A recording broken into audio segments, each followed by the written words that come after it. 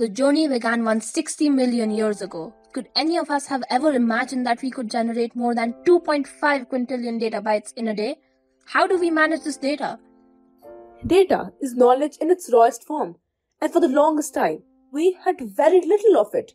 With a sudden exponential burst of data in the new digital age, the need to manage and refine this data came. This is where data science comes in, helping us to come up with innovative solutions to the hardest problems. Data driven organizations are grown and evolved over time. This is based on the data science hierarchy of needs. At the bottom of the pyramid, we have data collection, which entails what data do we need and what data is available for us. The next level determines the data flow. Only when data is accessible, we can explore and transform it. Then comes data analysis. Hence, data science is the process by which data becomes knowledge, understanding, and insight. As daunting as it might sound, data science is not restricted to university research labs but instead, it is everywhere around us. From personalized Netflix recommendations, advertising, and you got it, Snapchat filter. The flower crown on my head might look simple, but it took a lot of effort to put it there. These features stem from technology called computer vision, the same thing that powers automated cars and personalized augmented reality. The algorithm learns how to recognize our facial features by processing thousands of images to give us a seamless experience of dancing hot dogs and bunny ears.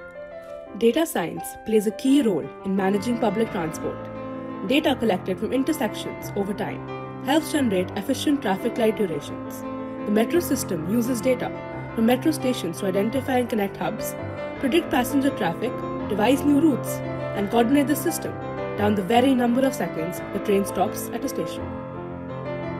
Over 200 million people in India go to sleep hungry every night almost 40% of the food produced here goes to waste.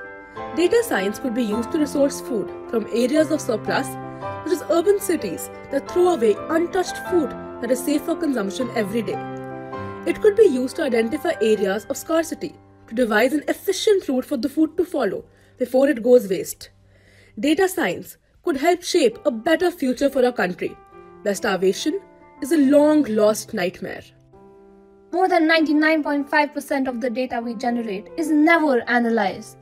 Data is a treasure, one that could contain the secrets to questions we can't even imagine, lost in the zeros or ones of a computer far, far away, or wandering in the very air around us. So, the future awaits a new era of data, of knowledge, of information, of order out of chaos.